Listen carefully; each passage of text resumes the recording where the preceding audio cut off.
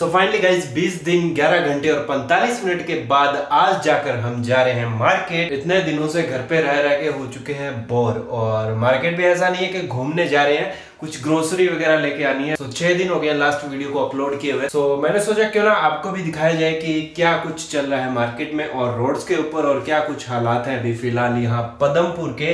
तो चलिए चलते हैं। We can not compromise safety and protection from COVID nineteen so उसके लिए जितने भी प्रिकॉशंस होंगे वो सब हम लेंगे। एंड हेलमेट uh, को काफ़ी टाइम से लगभग एक महीने से यूज़ नहीं किया तो पूरा डस्ट से भरा पड़ा है। सबसे इम्पोर्टेंट चीज़ अपने साथ कैरी करना नहीं भूलूँगा वो है हैंड सैनिटाइज़र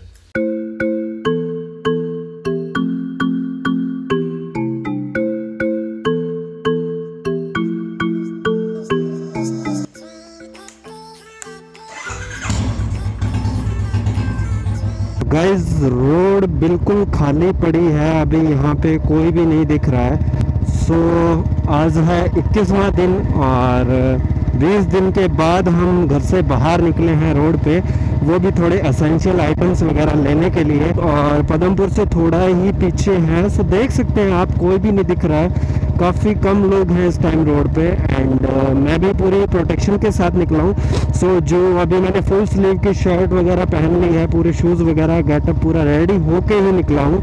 और जैसे ही घर पहुँचूँगा ये वाले कपड़े मैं साइड में रख दूँगा तो इनको दोबारा यूज़ नहीं करूँगा इनको वॉश करने के लिए डायरेक्टली डाल दूँगा। So right now we are in Padampur देख सकते हैं आप, सड़कें बिल्कुल खाली हैं। कोई भी यहाँ पर अभी फ़िलहाल मेरे को नहीं दिखाई दे रहा है और आगे पुलिस वालों ने स्टॉप भी लगा रखा आई थिंक देखते हैं, रोकते हैं या नहीं। Here you can see entrance पे यहाँ पे बैरिकेड्स वगैरह लगा रखे हैं। कोई भी अभी फ़िलहाल यहाँ पे मेरे को नज़र नहीं आ रहा है। काफ़ी कम लिमिटेड लोग ही हैं। अक्सर इन दिनों में क्या होता है मार्केट फुल रहती है क्योंकि अभी क्या सीज़न चल रहा है फ़सलों का। तो गेहूँ वगैरह निकल रही है तो इस टाइम क्या मार्केट फुल रहती है? अभी आपको कोई भी नहीं दिख रहा है। लगभग दुकानें सारी क्लोज पड़ी हैं, देख सकते हैं। असेंशल्स आइटम्स वाली ही जो दुकानें हैं, जहाँ से आप राशन वगैरह ले जा सकते हैं, वही खुली हैं इस टाइम और बाकी पूरा मार्केट क्लोज पड़ा है। सो so, अभी फ़िलहाल एसेंशियल्स आइटम्स लाइक वेजिटेबल्स वगैरह ही मिल रहे हैं और बैंक्स वगैरह खुले हैं।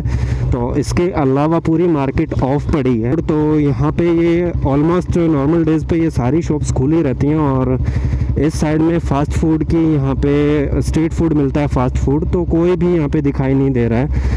एंड ओनली फॉर यहाँ पे ये H D F C bank है, यही ओपन है। बाकी ये इधर दूध वगैरह मिल रहा है, ये ओपन है। बाकी सारा मार्केट बंद है। सारी शॉप्स बंद है, आप देख सकते हैं। ये धान मंडी वाली जो रोड है, वो वाली है, जो नई धान मंडी की तरफ़ जाती है।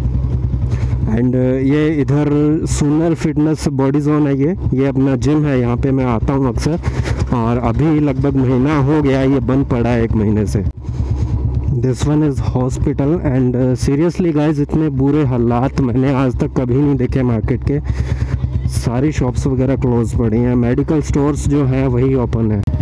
सो so, काफ़ी बुरा भी लग रहा है कंडीशंस को देख कर एंड uh, काफ़ी दिनों बाद राइड पे निकले हैं तो कुछ थोड़ा सा अच्छा फील हो रहा है।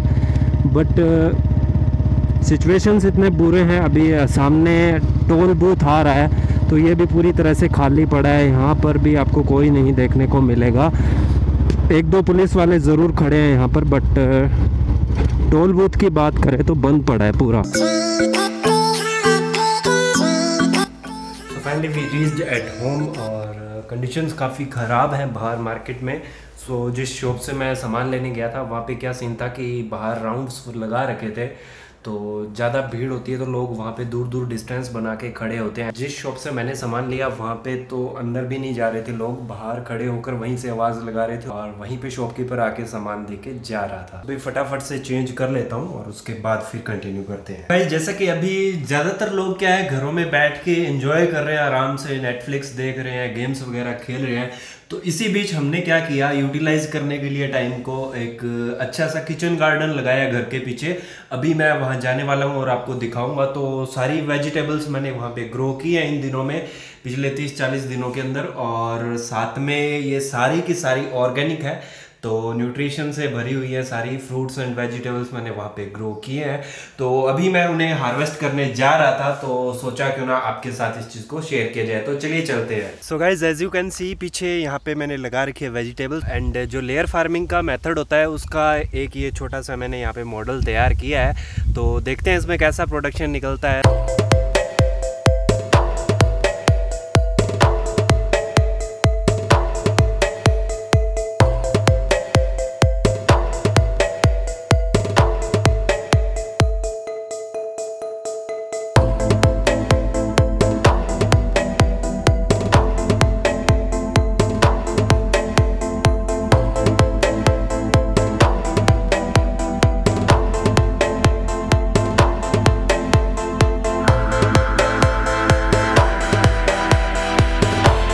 और अभी ना यहाँ पे ये कद्दू के पौधे लगे हुए हैं तो मैं इन्हें काट रहा हूँ, अभी हार्वेस्ट करके घर पे लेके जाऊँगा। इसकी सबसे बेस्ट बात ये रहती है कि इनका जो टेस्ट है ना, इन वेजिटेबल्स का जो अपने हाथ से ग्रो करते हैं ऑर्गेनिकली सो मार्केट वाली सब्जियों से काफ़ी अच्छा रहता है और खाने में भी टेस्टी होती हैं और इनकी खुशबू भी काफ़ी अच्छी आती है।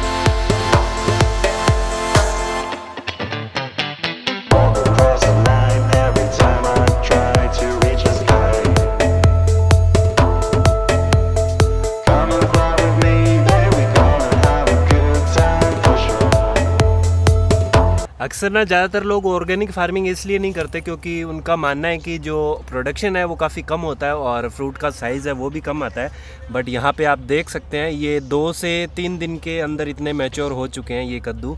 तो साइज़ भी काफ़ी अच्छा मिल रहा है एंड एक से दो दिन के गैप के अंदर मैं हार्वेस्टिंग कर पा रहा हूँ।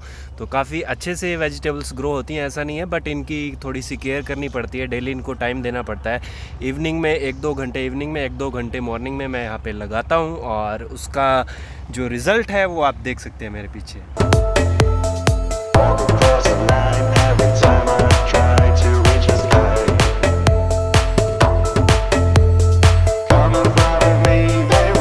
था गाइज़ आज का व्लॉग होप सो आपको काफ़ी पसंद आया होगा. अगर पसंद आया तो लाइक करके ज़रूर जाइए एंड साथ ही साथ इन फ्यूचर भी इसी तरह काफ़ी सारे वीडियोस मैं लेके आता रहता हूँ. सो मेक श्योर सब्सक्राइब ज़रूर कर लीजिए R C seventeen vlogs YouTube channel को. मिलते हैं आपको नेक्स्ट वीडियो में. तब तक के लिए अलविदा लेते हुए जय हिंद, जय भारत.